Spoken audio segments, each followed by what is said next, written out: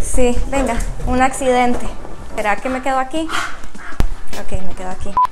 Buenas, bienvenidas y bienvenidos a lo importante del día de No pasa nada. Yo soy Giri, ella es Estela y hoy vamos a estar hablando de cuatro noticias. Vamos a hablar de la marcha del 8 de marzo por el Día Internacional de la Mujer, la presión migratoria de Turquía hacia la Unión Europea. Vamos a hablar de una subasta de mascarillas por internet y primero vamos a hablar del lunes negro en los mercados mundiales. Hoy lunes hubo una importante caída en las bolsas alrededor de todo el mundo por dos cosas. Primero, la caída del precio del petróleo y segundo, por el miedo general sobre el impacto que está teniendo el coronavirus en la economía. ¿Por qué nos importa? Porque el petróleo cayó aproximadamente 30% en Asia, la caída más importante desde la Guerra del Golfo de 1991. ¿Y por qué cayó?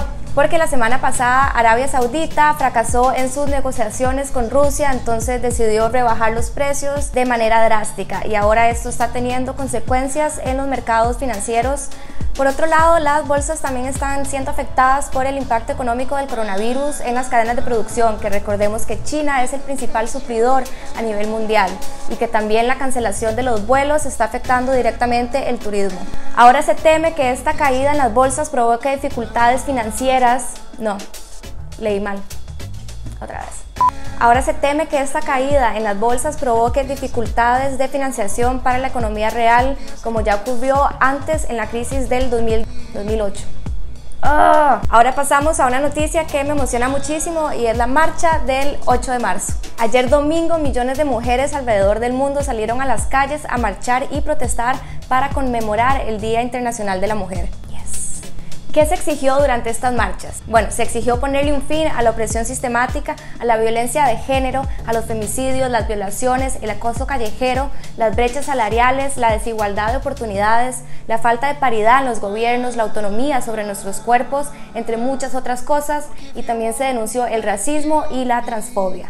A pesar de que la mayoría de las marchas fueron pacíficas, en algunos países hubo enfrentamientos violentos, como en Pakistán, que los opositores tiraron piedras y palos a las mujeres que alzaron su voz el domingo en contra del gobierno y una sociedad ultrapatriarcal. Ultrapatriarcal. Varios países latinos protestaron en contra de sus gobernantes, como en Chile, que se pidió la renuncia del presidente Sebastián Piñera, en México, que le exigieron al presidente Manuel López Obrador tomar acción ante la crisis de femicidio que vive el país y Brasil, en donde protestaron en contra de Jair Bolsonaro por sus constantes comentarios sexistas. Y bueno, recordemos que el Día Internacional de la Mujer no es una celebración, sino un día para conmemorar la lucha feminista por la igualdad y los derechos de las mujeres. Y los quiero invitar a ver dos videos que se hicieron aquí en No pasa nada con respecto al 8M. Entonces les dejamos el link aquí abajo o por algún lugar para que puedan ir a verlos. Y si no, pueden ir al perfil de No pasa nada en Instagram y ahí pueden encontrar los videos. Y después vamos a darle seguimiento a la noticia de Turquía, a la, a la situación migratoria de Turquía. En Turquía. En Turquía. El presidente turco viajó este lunes a Bruselas para hablar sobre la situación migratoria con los dirigentes de la Unión Europea se busca una solución ante la apertura de las fronteras de hace unas semanas. De los 6 mil millones de euros anunciados en el 2016, la Comisión Europea ya ha comprometido 4.700 millones y ha desembolsado 3.200 de millones para atender a unos 4 millones de refugiados, en su mayoría sirios. En Turquía. En Turquía. Y hoy, en lo absurdo, vamos a hablar de una subasta de mascarillas en Internet. Un diputado japonés se disculpó este lunes por haber subastado mascarillas en internet ante la escasez de estas en el país. Hiroyuki Mara, Marota.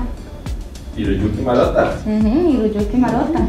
Hiroyuki Marota, que es un miembro de la Asamblea Regional de Shizuoka Yuyuki Marota, que es un miembro de la Asamblea Regional de Shizuoka y propietario de la empresa de importación, declaró en una rueda de prensa que durante un mes había subastado mascarillas por internet. ¿Y saben cuánto hizo?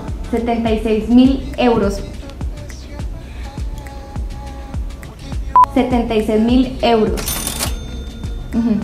Marota explicó que las mascarillas las había comprado hace 10 años en China por 15 yenes la pieza, que son aproximadamente 0.13 euros.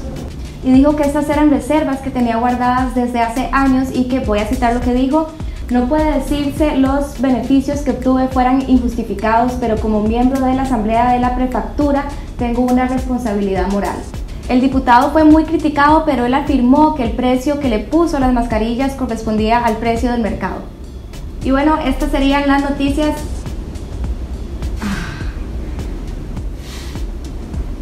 Que me quiere matar. No, no, no. Si pudieran ver la cara que No, tiene Kenneth en este momento de frustración. Ok, de nuevo. Y bueno, estas serían las noticias importantes de hoy. Recuerden suscribirse, darle like, compartir y nos vemos el miércoles.